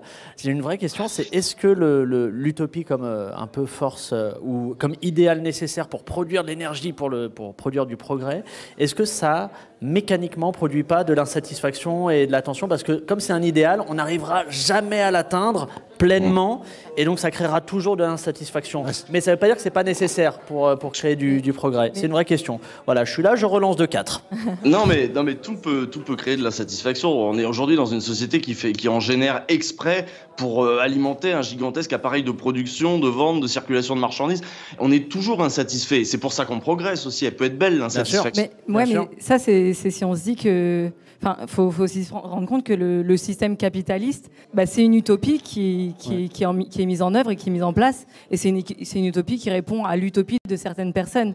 C'est pas uniquement une projection, l'utopie. Certains vivent dedans et parce que c'est leur, leur système. C'est le système le génie du capitalisme, c'est de nous faire croire que ce système-là, c'est le, le fruit naturel de l'évolution de, notre espèce. Pas du tout. C'est une construction, ça a été pensé, construit, euh, et ça profite à certains. Non, mais- Et c'est le fruit d'un rapport de force. Non, et même, et quand bien même, tu sais quoi, ce serait le fruit naturel, ça ne veut pas dire qu'il n'y ait pas d'autres choses qui soient possibles plus tard à l'avenir. Je t'assure que c'est pas le cas. L'anthropologie s'est penchée la- sur la question. Ça fait des centaines de milliers d'années que nous vivons sur cette planète et on a testé des, des dizaines de milliers d'organisations différentes. Le libéralisme a été pensé par des mecs au 19e. Ça leur, ça leur- ils inventaient la révolution industrielle à cette époque-là. C'est des Anglais ma- majoritairement, hein, quelques Français aussi. Ils dominaient le monde et ils voulaient continuer leur domination. Et donc ils ont inventé un système qui leur correspondait, dont ils pouvaient profiter. Et ça a bien marché. Bravo. Sauf que maintenant on peut en sortir. On vit dans l'utopie d'autres. D'autres, voilà. De d'autres personnes. Ouais, ça, ça a bien marché, ça dépend pour qui. Oui, bien sûr. Ça a bien marché pour eux. Ça n'a pas Non, bien mais marché pour la même, euh, planète, pour les espèces vivantes, etc. Voilà, ouais, ouais. Et puis bien même ça a bien Et pour marché pour la travailleurs. France et les pays occidentaux. Et puis bien euh, ça sûr. s'est fait, euh, voilà. Sur le dos de l'Afrique, sur le dos des colonies, Ouais, évidemment. Le Suriname un peu moins, ouais, ça c'est bon. Mais on n'est pas en train de confondre utopie et euh, rêve. Tu vois, et, euh, bah, parce qu'il me semble que le libéralisme, on peut tout, ou et le capitalisme, on peut tout à fait dire qu'à à certains moments de l'histoire, ça a été pensé. Ça a été des constructions euh, mentales de gens qui ont imaginé un monde euh, avec ce genre de fonctionnement. Mais à partir du moment où c'est mis en œuvre concrètement par des institutions, où euh, ça se renforcé. dans des corps, dans des cultures, est-ce que tu peux dire que c'est de l'utopie? Parce que pour moi, l'utopie. euh, C'est une utopie qui a- qu'utopie qui a pris corps. Oui, mais, sûr. mais, mais du coup, est- est-ce qu'une utopie qui prend corps est encore encore une une utopie Parce que l'utopie, euh, le, le- le truc, euh, l'idéal qu'il faut viser, qui anime les gens et qui est peut-être nécessaire à toute construction pour progresser vers le mieux, comme la démocratie, le communisme ou je sais pas quoi, euh, ces utopies-là, elles existent et elles sont motivantes parce qu'elles n'existent pas. Alors que l'utopie, euh, alors que le capitalisme ou le libéralisme que vous qualifiez d'utopie, ça existe. Et du coup, est-ce que ça marche encore On ne qualifie pas d'utopie, on dit que ça a été une utopie et qu'effectivement ça s'est installé comme un système dominant. Ouais, mais du coup, il ne faut pas le coder comme une utopie. Il faut le coder comme une construction symbolique qu'on peut rendre cohérente et en dehors de nous, mais, qui, euh, mais dont on voit les effets concrets parce qu'elle existe concrètement, renforcée par les bourgeois et des temps, institutions bourgeoises. c'est- l'horizon que tu donnes. C'est- pour moi une utopie, par exemple, c'est cette idée de le marché libre et non faussé. Et quand tu te penches sur un cas particulier, Ça, c'est un mensonge. c'est- alors par exemple, c'est- ça c'est une utopie parce que et c'est plutôt, en fait, plutôt qu'une utopie, que ça c'est un rêve ou c'est un mythe. C'est Et un quand mythe, tu ouais. quand tu te penches sur le détail, un jour comme ça, j'ai j'ai étudié le truc, c'est ils avaient accordé des droits de douane au Vietnam sur les selles de vélo. Bon.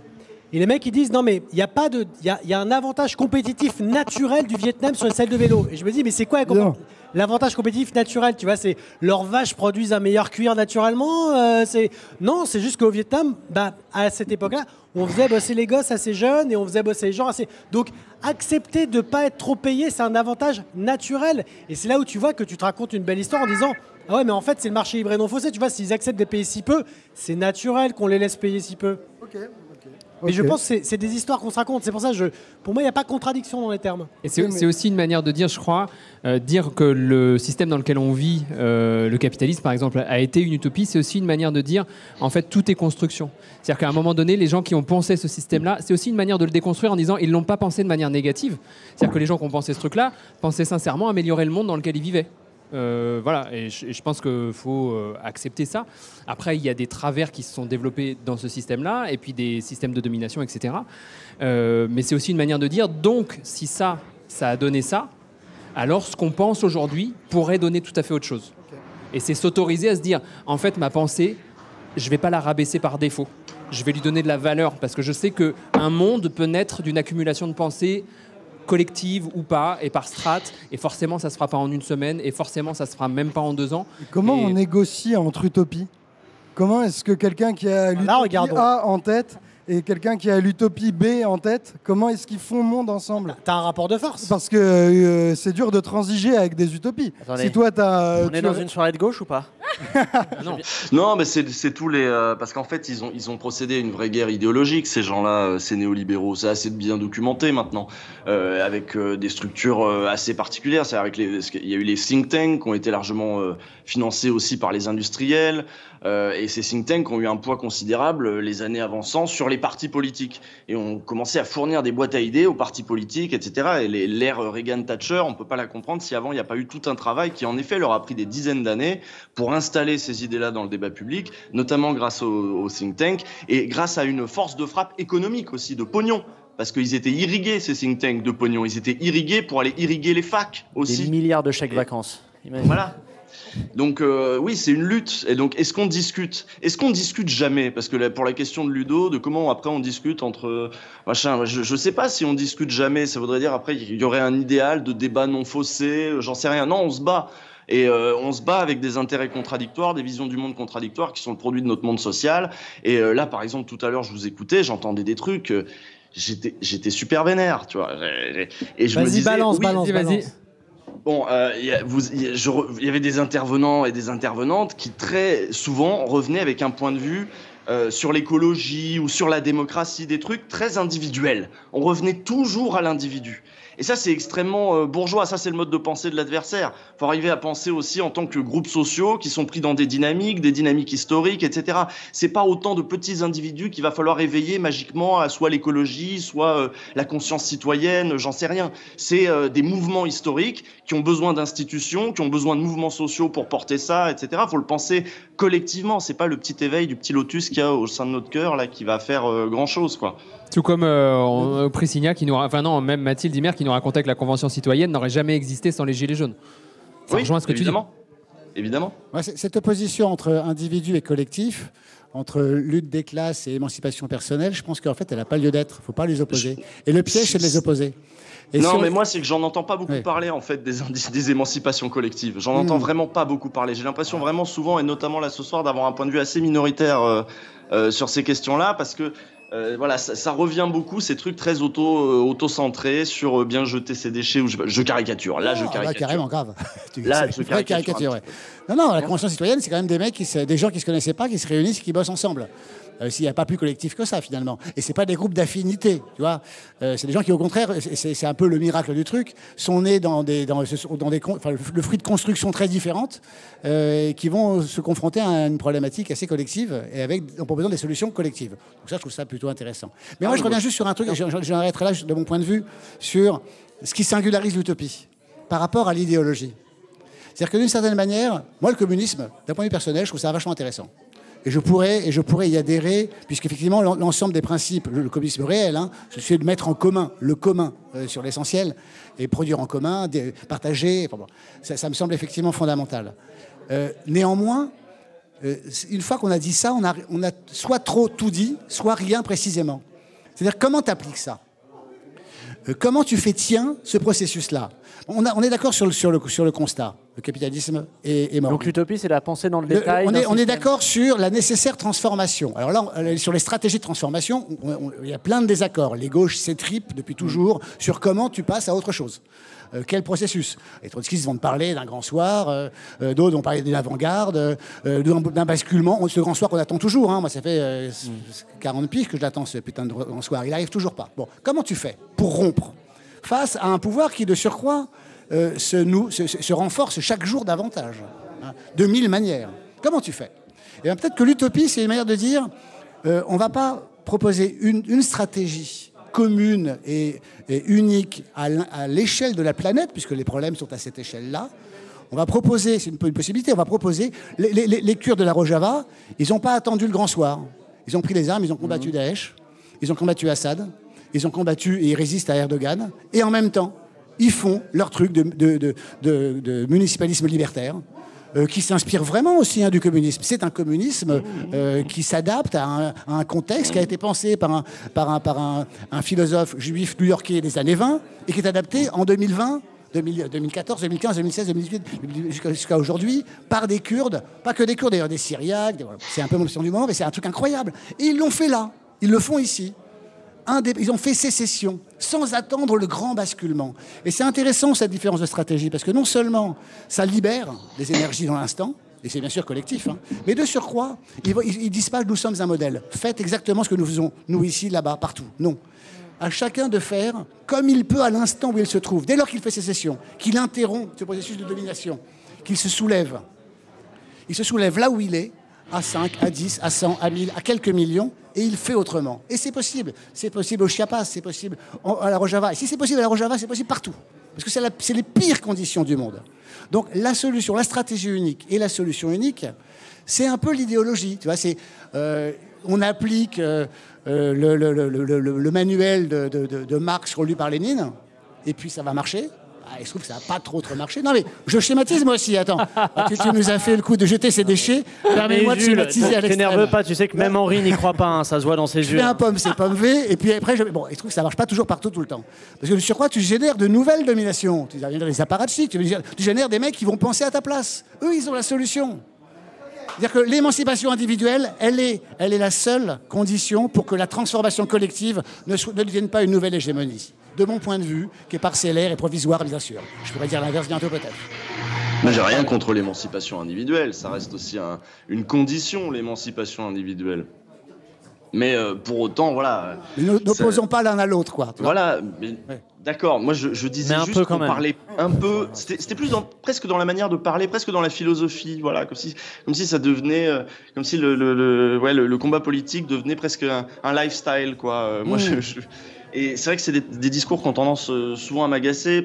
Et peut-être que ce, que ce qui me reste comme fond de léninisme, euh, c'est peut-être un côté un petit peu sérieux sur le fait que j'aime bien quand il y a des organisations, euh, j'aime bien quand les gens euh, pensent syndicats, lutte, parce que ou alors réinventent. Hein, moi, je m'en fous. euh, je veux dire, les gilets jaunes, ils se sont pas dit on va faire un mouvement social, ils se sont dit on va faire les gilets jaunes, mais c'est un mouvement social. Donc ils ont refait dans la longue tradition de ce que sont les mouvements ouvriers français, en piochant, en reprenant, ou même les mouvements révolutionnaires français au 18e, ils se sont repiochés, ils ont refait un truc.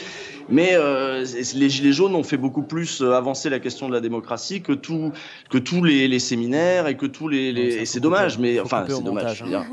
On me coupe ça au montage. hein, puis- Jules, merci, merci infiniment, Jules. Merci Euh, je- je- beaucoup, je, te- Jules. je- je t'invite à acheter un œil sur ce qui va suivre, parce que je ne sais pas si tu as vu le début, mais Nico et Bruno, des messages à caractère informatif, nous ont fait un, un doublage, doublage. en live. Ils l'ont Ah. fait à jeun. Ils étaient super synchrones, c'était nickel. Ça a été un gros effort de le faire à jeun. Euh, Nico Ils et vont le faire à Paris ont maintenant, décidé de et- picoler. Ils ont Wow. fait très tôt. Et là, Et là, on a dépassé tous les comptes. là, ils ont, ils ont bu et on va voir s'ils sont aussi performants après quelques Voire verres qu'avant quelques verres. Toutes les consignes. Voilà. Est-ce que ça pourrait. Pardon. Ils ont bu 3 litres de, cl- de chloroquine, ils sont à fond. Alors, nous allons improviser. Totalement, c'est ça. Totalement Ah improvisé. alors là, alors ça va partir doublage dans tous les sens. qui n'est pas sur on l'utopie a- de la- on de la a moustache. idée de ce qu'ils vont dire, en impro. messieurs. C'est incroyable. C'est. Ok, j'ai pas mes lunettes. On va demander un Euh, peu de J'arrive. silence. Merde, Attention. mes lunettes. Oh la vache.